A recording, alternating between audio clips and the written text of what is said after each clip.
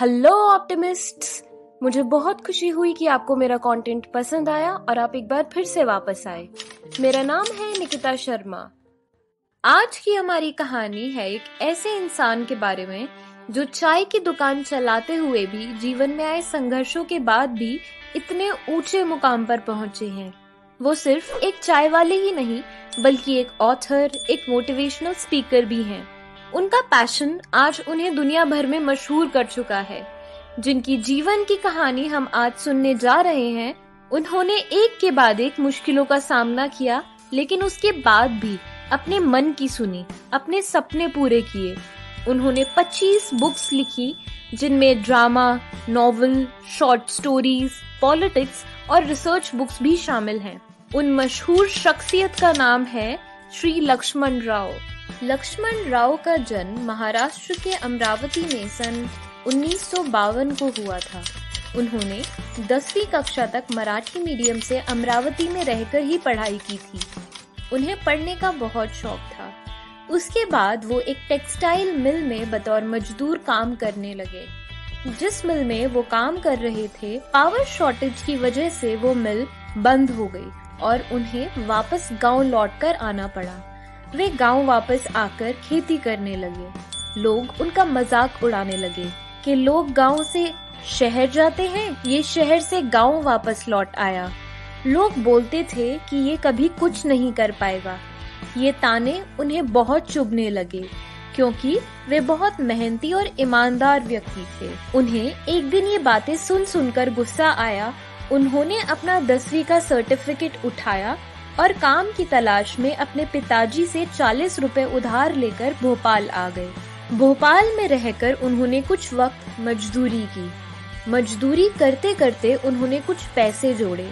जब उनके पास नब्बे रुपए इकट्ठे हो गए तो वे भोपाल छोड़कर 1975 में दिल्ली चले आए। रहने का कोई ठिकाना नहीं था तो कुछ वक्त वे बिरला मंदिर की धर्मशाला में ठहरे।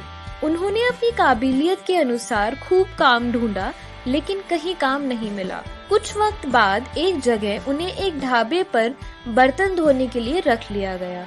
उन्होंने बर्तन साफ़ करते करते एक साल निकाल दिया। उन्हें एक साल बाद एक जगह मजदूर का काम मिल गया तो उन्होंने ढाबे का काम छोड़कर मजदूरी करना शुरू किया। इसी तरह एक साल और निकल गया। मजदूरी करते करते उन्होंने कुछ पैसे बचाए उनके मन में कुछ कर गुजरने का तूफ़ान था।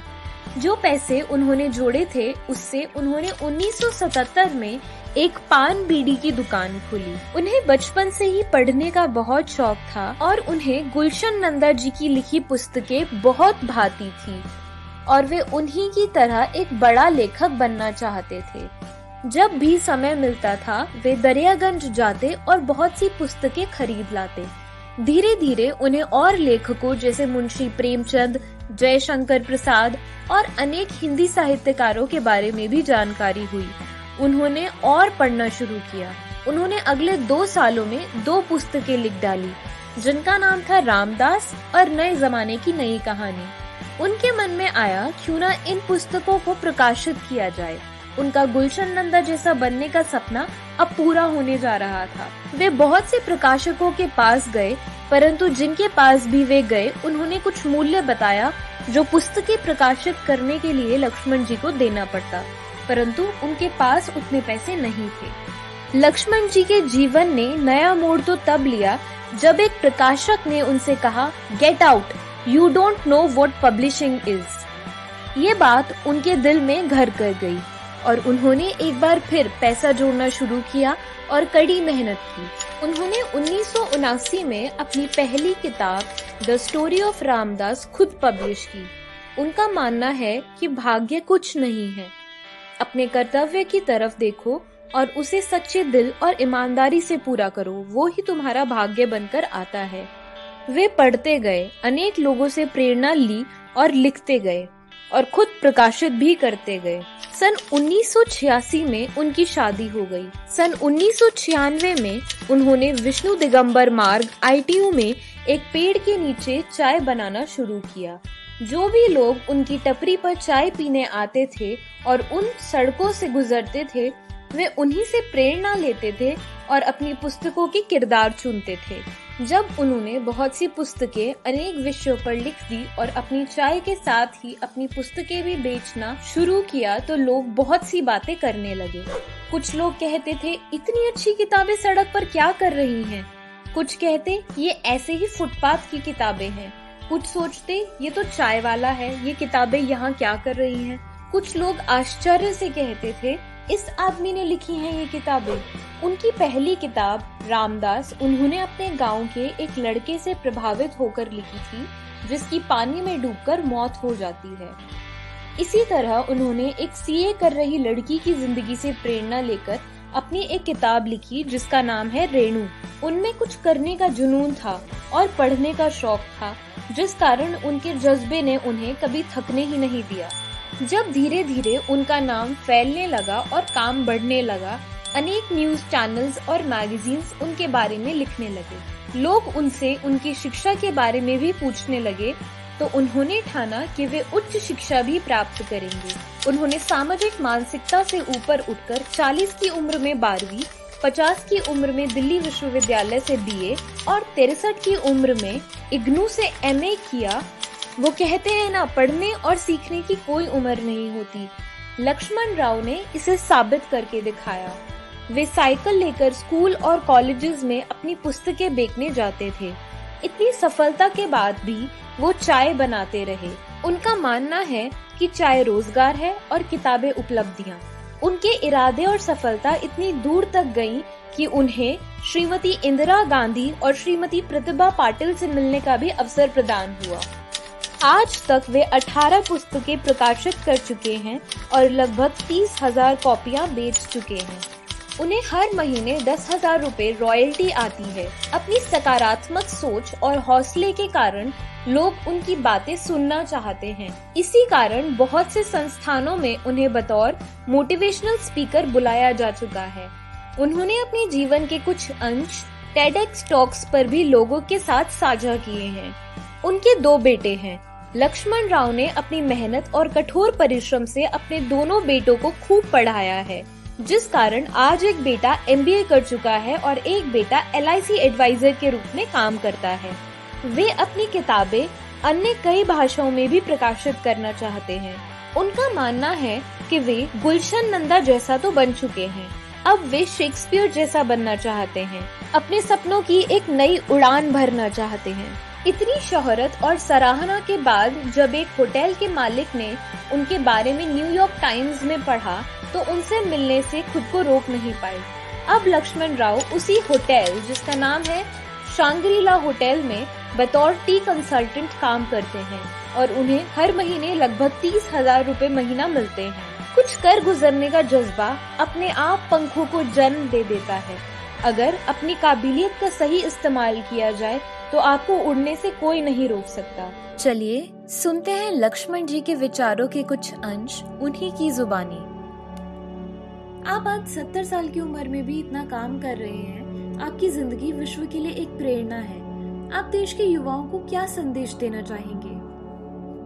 मैं देश के युवाओं को यही कहना चाहता हूँ कि कभी भी किसी काम की ना अपेक्षा करे, ना प्रतीक्षा करे और अपने लक्ष्य की तरफ़ देखिए। जो संभव है, वो अवश्य होगा और करते रहिए। साथ में शिक्षा ये बहुत महत्व की है। ग्रेजुएशन पोस्ट ग्रेजुएशन ज्ञान इतिहास का ज्ञान, भूगोल का ज्ञान, देश का ज्ञान। ज्ञान बहुत ज़रूरी है सिर्फ़ बातें ज़रूरी नहीं है। और, दूसरे को पहले समझने का प्रयास करें, खुद को समझाने का प्रयास नहीं करें आप। और इसके अलावा भी जीवन में बहुत कुछ है। अपने उम्र के हिसाब से 25 साल 25-26 साल तो अपने जीवन को बनाने के लिए लगते हैं, फिर उसके बाद एक नया भविष्य तैयार होता है। और फिर पचास साठ साल के बाद तो फिर आपने जो अपने जीवन में किया है, उसका परिणाम मिलता है।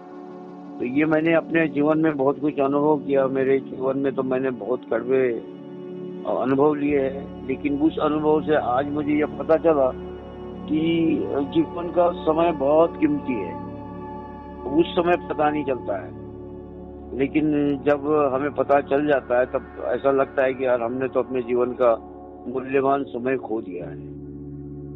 आप आज इतना प्रचलित हो गए हैं और इतने बड़े होटल में एक टी कंसल्टेंट का काम करते हैं। आपके मनोबल का क्या कारण है? मेरा मानना ये है कि मैं भोजन को प्राथमिकता देता था चाहे काम कोई भी हो। और मैंने जो भी काम किया ऐसे नहीं है कि मैं फुटपाथ पे सो रहा था या मेरे पास कुछ नहीं था नहीं। मैं भोजन के लिए कभी मजबूर नहीं रहा। वो मैंने कमा के रहा मैं तो कमाता ही रहा। आज भी भोजन ही कमा रहा हूँ समझ लीजिए आप। तो कहने का मतलब ये बहुत खुशी से करता रहा और निराश कभी नहीं रहा हूँ।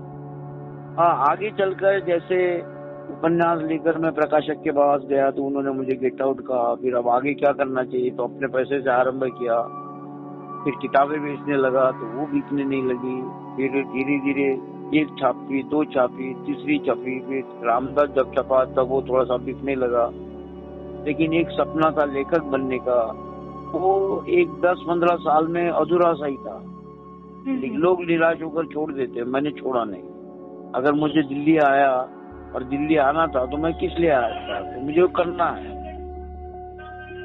और यदि मैं लौट कर घर जाऊँ लोग क्या पूछेंगे मुझे? इसलिए मैं वो करता गया करता गया। हम में से बहुत लोग बहुत बड़े बड़े सपने देखते हैं। तो आप उन्हें क्या सलाह देना चाहेंगे? अगर आपको अनुभव है तो आप कर सकते हो। और अनुभव करने से होता है। किसी के कहने से या किसी के सुनने से नहीं होता है। व्यक्तिगत रूप से अगर जो अनुभव लोगे आप वो व्यक्तिगत रूप से ही काम आता है। और वो मेरे काम आ रहा है आज भी काम आ रहा है। मैं इसीलिए जो लेखक बनना चाहते हैं उन्हें यही कहता हूँ कि पढ़ो पढ़ो पढ़ो। जितना पढ़ सकते हो पढ़ो। जिस दिन जब पढ़ोगे तो लेखनी बंद हो जाएगी। और लेखनी बंद हो जाएगी तो उसके बाद फिर वो वर्ल्ड सामने आएगी। फिर लिखने लग जाओगे। और मैं कभी किसी को गुरु मैंने किसी कभी किसी लेखक को गुरु नहीं माना क्योंकि गुरु मेरी पुस्तक ही थी।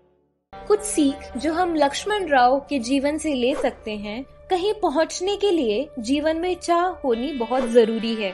सीखने की कोई उम्र नहीं होती। हमारी किस्मत हमारे कर्मों पर निर्भर होती है। एक लक्ष्य पूरा होने का मतलब ये नहीं कि हाथ पे हाथ रखकर बैठ जाए। बल्कि उसके बाद और ऊँचा उड़ने के सपने देखने चाहिए और कर्म करना चाहिए। जीवन में लगे रहना बहुत ज़रूरी है। निराशा सबके जीवन में आती है, लेकिन जो उससे ऊपर उठकर अपने सपनों की उड़ान भरने की हिम्मत रखता है, वही बादलों से ऊपर उड़ पाता है और सफलता पाता है। लक्ष्मण राव हमेशा कहते हैं, लेखक का जन्म ही पचास साल के बाद है और उसकी ज़िंदगी उसके मरने के बाद है। Thank you so much for watching this video अगर आपको ये वीडियो अच्छी लगी तो अपने फ्रेंड्स के साथ फैमिली के साथ, और जिनको भी आप जानते हैं और ये इंस्पिरेशनल स्टोरी शेयर करना चाहते हैं, उनके साथ ज़रूर शेयर करें। कमेंट सेक्शन में अपने व्यूज़ ज़रूर बताइएगा। अब हम मिलेंगे अगले वीडियो में। तब तक के लिए आप अपना और अपनों का, दोनों का बहुत सारा ध्यान रखिए और खुश रहिए।